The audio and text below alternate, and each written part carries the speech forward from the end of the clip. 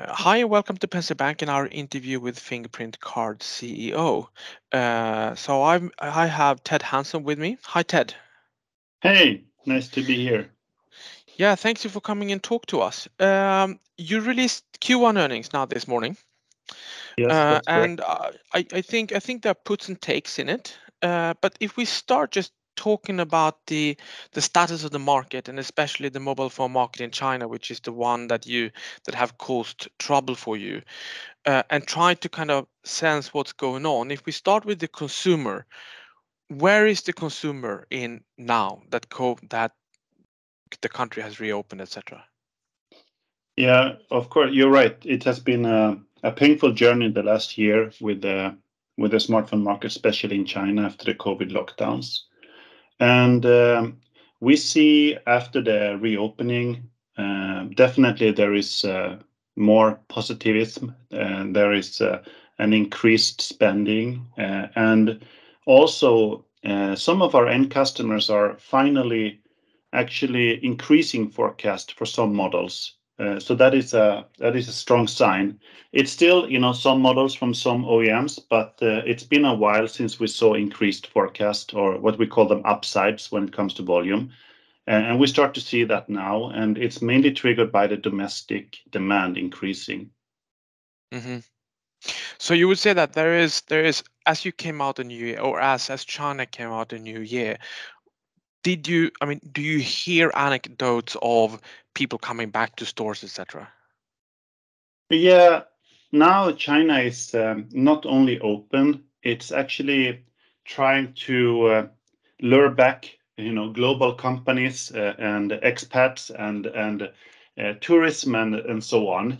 So it's a very different tone in China from authorities, and Uh, I I, would say that the Chinese economy uh, you know, might very well be one of the stronger ones this year, uh, looking at it from a global point of view.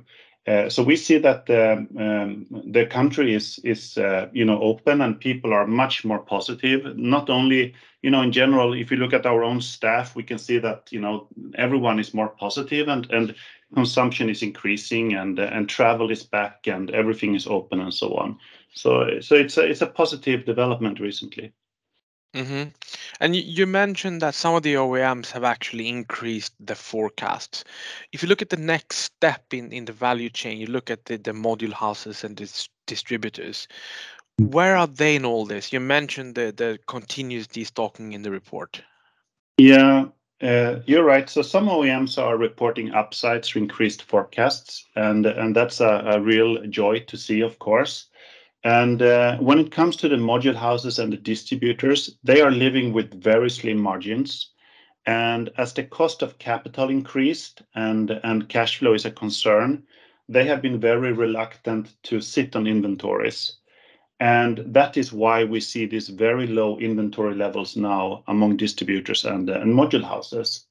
In addition to that, uh, some of the smaller module houses, I would say, Uh, have a questionable financial situation. Uh, so we also see that some OEMs are transferring volume to um, uh, changing around in their supply chain and moving volumes to more stable module houses. And I believe that is also one of the reasons why the distributors are a bit concerned to Uh, place orders uh, in advance of getting them uh, basically from the module house. Having said that, doesn't really impact us. You know, in large projects, we are typically supplying our sensors to multiple module houses that share the total volume to the OEM. So, so we we don't really have any mm-hmm. impact of this. It's more that more our volume goes to one or two module houses instead of three. But it, of course, impacts the supply chain and the distributors and so on. And if we talk about pricing, because pricing, you mentioned pricing pressure also in the report, and I assume that while you have this destocking and you're also destocking your inventories, uh, then you have a pricing pressure. Do you expect for this to abate once you're out of this? Is there a chance to bounce back, or do you mm-hmm. expect the lower level to be set? Yeah. So um, there's a couple of factors here. Uh, the first one is that we and and our competitors, we all built inventories when this sudden demand disappeared, you know, a year ago. And at that time, the foundry pricing was relatively high uh, because there was a, it was a supply constraint situation. And uh, this is now being um, sold out by us and competitors. At the same time, the foundry situation is quite different. They are now actively looking for business. Uh, so the current price to produce new wafers has gone down. And uh, the earlier that you manage to clean your inventory, the faster you will be able to use newly bought uh, wafers or sensors, you know, silicon, which you have purchased at a lower price. So sitting on a lot of inventory, it doesn't only, you know, uh, mean that you have tied up a lot of cash, it also means that you are going to have to live with a worse margin for a longer period of time. And, and based on our understanding, uh, we are, you know, among the better ones in this industry when it comes to inventory. And as we have said before, we expect we will go back to normal inventory levels uh, by middle or in Q3 of this year. And then uh, to a larger extent, we will start using new wafers, which has a much lower cost uh, right now with the foundry market situation. That will help us to get back to better margins in mobile. And of course, over time, uh, I think everyone expects that there will be a consolidation. And once that has happened, Uh, I think margins will go back to more historical levels on capacitive fingerprint sensors. Uh, so uh, it's going to take a bit longer time, but over time, yes, I agree that the margins will improve in capacitive fingerprint sensors for mobile phones. So what we're talking about is not necessarily only ASPs for the sensors themselves, but more of a price cost situation where the spread between the two will improve and hence the gross margins margin will go up. Yeah. Actually, I think it's realistic that the ASPs will go up slightly uh, as inventory is depleted, and definitely the cost of acquiring new silicon has gone down. But of course, you know, the foundry business or foundry industry is is uh, bullish about the second half of this year that the demand will come back. There's a lot of expectation that the smartphone will be back to growth the second half. So foundry pricing is, you know, very dynamic. It's based on on supply and demand, of course. Uh, but the balance between uh, ASP and foundry pricing will come back to a more level, more normal ratio over time. That I'm I'm certain of. Mm-hmm. If we change tack a bit and we talk about the in-display sensors. So so you got your first uh, volume order, and now you got the second volume order just announced. Mm-hmm. Tell us a little bit more about where you stand there and and and um, what's going on. Do you expect more, and and how is pricing on in-display sensors? Yeah. We got uh, the first customer volume order in uh, in end of last year, and we had a second customer launching uh, in the first quarter. We have received several orders from both of these customers, so it's actually not a second order as such. It's a second OEM launching with our under-display technology. Uh, and this is of course still early days for our under-display business. Uh, we will continue to grow. We have multiple projects running with multiple OEMs that we expect will materialize in business during this year. Uh, so we are looking in this at this in a positive way. We are, you know, having the traction we would like to see. It takes time to take market share. It takes time to go through the qualification, and it takes time to replace competition. But we are progressing according to our plan. And uh, previously, we have said that optical fingerprints represent roughly one-third of the volume, uh, and capacitive fingerprint sensors are roughly two-thirds of the volume, and that they are comparable in value. And uh, I think that is still true. So meaning that, you know, the ASP, if you do the math, it's in the magnitude of factor two compared to capacitive today. Okay. Okay, and and you have started to ship the order you got back in December, right? Of course, yes. Sure. Yeah. Yeah. Uh, moving on to PC. So PC PC grew by 100% in the quarter, but it was also exactly a quarter of the sales for 2022. What is a usual year for PC? You were talking about lumpiness on the call. Yeah. So how should I view this? We are still uh, having a large part of the business with with one specific OEM. And the, how they order and in uh, the frequency of the order and so on will have a significant impact on one quarter business.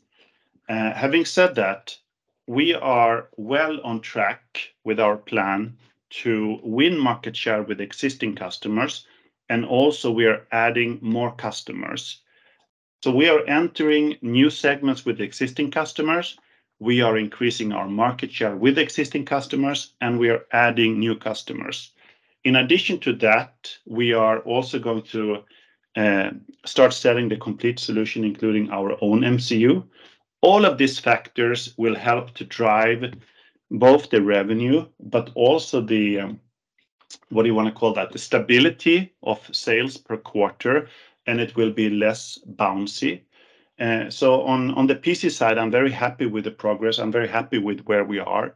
We are well on track of, uh, you know, achieving our goal to become the global number one in uh, biometrics for PC. Uh, I would say that we are we are following our plan quite well there. So we mm-hmm. expect to see increased uh, revenues this year, of course, compared to last year, as we have said before. Yeah. Yeah. And looking at access, um, I mean, there's a lot of talk about access as well, and it's if I remember right, China is growing, the rest of the world is declining in terms of access. Uh, but you also spend a lot of money on R&D, or lots of efforts at least on R&D in mm-hmm. access. You mentioned that separately. Uh, tell us a little bit more on what's happening in access. Yeah. So once again, um, I think that they saw the quarterly uh, comparison of access business compared to the first quarter in 2022, and you saw that the access rest of the world actually had a had a decrease in in this year. Uh, that does not represent the demand and uh, the pipeline we have in access rest of the world. I would say that that part is is growing quite well. So we have said before that PC and access together with under display are the segments that we expect will grow the fastest, and that is still very true. And we are making good progress in what we call access rest of the world. And there's a lot of work to be done there, uh, both in terms of market creation, business development, uh, to uh, educate customers to understand the convenience, security that we can add with biometrics, but also uh, a lot of room for innovation and development. So if you think about it, some of these applications that we are going after, for example, let's look at remote control specifically. They are typically uh, using very, very small MCUs. They have a low cost, and uh, they would also like to have a cheap fingerprint sensor, of course. Uh, but we need to combine that, a small sensor that can be uh, where the algorithm can be executed on a small MCU that can deliver uh, good biometric performance. So there is a lot of room to us to tailor our solution towards these new access applications. We also see customers are asking for specific requirements. For example, they want to have secure element in the access solution. They wanna be FIDO compliant, and so on and so on. So we're spending a lot of effort now on uh, access development, and a lot of that is done together with customers. So we are working together with customers in creating great access solutions now with biometrics. And of course, that is helping us to be the world leader, but it's also creating stickiness with the partners since we are doing this together for the customers. Uh, but it's, it consumes engineering resources and and it's a big focus area now in the company. Mm-hmm. And and on payments, I mean, payments is still small, uh, but this still gives a contribution and maybe more than I thought. Uh, and I know that some of your competitors are talking about it taking off as we speak, and you mentioned you have mm-hmm. two more commercial launches coming imminently or or in the near future. Tell us a little bit about the progress that you're doing in payment. Yeah, we are very happy about our position when it comes to our offering and when it comes to our partners. Partners. And uh, we are confident that we have captured the vast majority of the volume and launches so far that that has happened in the industry. And uh, in order for this to take off, there needs to be several players. Uh, so we welcome, you know, healthy competition. We are not afraid of that. And uh, I would say that we are now we announced uh, in the last quarterly report, we spoke about the collaboration we're doing with um, with Infineon to create a turnkey solution. This kind of initiatives is really what is needed to drive what we call tier twos, the fintechs, the smaller banks that want to be early with biometrics. So we will continue helping the market to take off by providing high quality, easy to use turnkey solutions. Uh, and and uh, You know, that is our role in in this ecosystem. So we are, you know, looking at uh, very positive on on the development here. We see there is more traction Uh, also in new regions. We expect more regions will launch commercial cards this year. But as you said, for us, it is still uh, a small volume, uh, relatively speaking. Even though we have shipped 1 million units, for us, it's, you know, still limited volume. And we are definitely looking forward to scaling this business with the partners. And as I said now a couple of times, we have the solution ready. We are fully ready to support the takeoff here, and and we are eager to, you know, see it happening now. Mm-hmm. And if you if you put all this together, I mean, sales outside of capacitive sensors for smartphone OEMs was 34% of sales in in Q1. You were talking about 30% in Q4, and and the target is for 45% at the end of the year. Where does where does capacitive OEM or capacitive mobile capacitive sensors to mobile phone manufacturers fit into this? Because on the one hand, you're talking about the recovery uh, in that, and that's still the majority of the volume in in your business. So how does this hang together? Yes. Um, definitely, uh, the numbers in Q1, you know, for mobile capacitive are not the numbers we would like to see the rest of the years. And as we have said, we have already firm orders that we have confirmed for the second quarter that is above the Q1 total sales. So we are going to see growth in the second quarter, and a lot of that is, of course, coming from mobile getting back to more normal levels. Having said that, we, eh, mobile is a huge volume business. It's an important business for us, and it is our biggest business today. But we expect that the under-display is going to grow significantly in this year as we launch with more customers. Uh, we will see all the effort that is going into the PC will pay off quarter-over-quarter as more customers launch, as we get into more segments, as the attach rate increases. And the same with uh, access. As the projects that we're working on materialize, we expect to see good growth there as well, and that is how we expect to achieve this 45% of the revenue uh, by end of this year. Uh, and of course, payment is also expected to grow. But like I said before, I think in this year, we expect a faster growth in access PC and under-display than payment. But they will all be growing uh, uh, in by end of this year compared to the mobile business, even if mobile gets back to more normal levels, so to say. Mm-hmm. But just uh, so so just to be clear and kind of repeating what you said. Mm In your assumption of 45%, there is still growth in in mobile capacitive. You still assume that that will grow and that then the mm. other segments will grow faster? The mobile capacitive, uh, definitely there must be a growth compared to Q1 numbers. Uh, definitely, yes. Uh, I I guess that is what you refer to. Mm-hmm, mm-hmm. With that, I thank you very much for coming here to talk to us, and I hope to speak to you soon. Thank you so much for having me. Thank you.